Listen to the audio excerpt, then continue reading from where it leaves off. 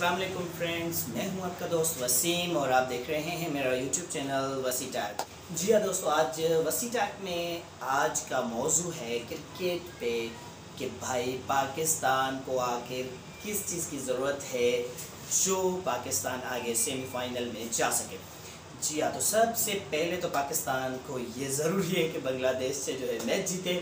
اس کے بعد بھی اگر کیا چیزیں ہونی چاہیے ورلڈ کپ میں تاکہ پاکستان جو ہے سیمی فائنل میں پہنچے؟ تو سب سے بڑی چیز کی جو ضرورت ہے، جس کے لیے میں نے ویڈیو بنایا ہے پاکستان کے لیے جو ضرورت ہے، وہ اس چیز کی ہے کہ پاکستان کے لیے دعائیں کریں۔ سب سے زیادہ ضرورت پاکستان کو دعاؤں کی ہے اور دعا کریں گے تبھی انگلینڈ جو ہے اپنے میچ ہارے گا اور پاکستان کا یہ چانس کنفرم ڈن بن جائے گا۔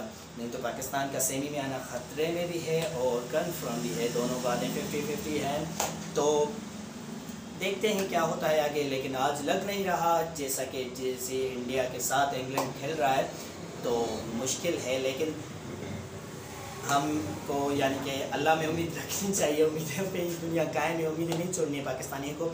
اور دعائیں دعائیں کرنی ہیں پاکستان کے لیے تاکہ پاکستان سیمی فائنل میں پہنچے۔ انگلینڈ ہارے اور پاکستان کے چانسز جو ہیں ہنڈریڈ پرسنٹ ہو جائیں سیمی فائنل کے لیے۔ سیمی فائنل میں آئے پھر آگے انشاءاللہ ورلڈ کپ بھی جیتے گی لیکن فی الحال سیمی فائنل تک کا ہی سفر ہے جو ان کو طے کرنا ہے۔ بنگلہ دیش کو بھی ہرانا ہے۔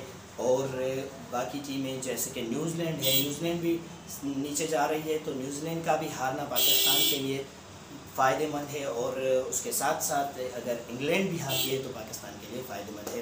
لیکن آج انڈیا کے ساتھ میچ چل رہا ہے انگلینڈ کا اور انگلینڈ بیٹنگ میں جا رہی ہے۔ دھڑا دھڑ اور لگ نہیں رہا کہ آج کا میچ جو ہے انگلینڈ ہارے گا۔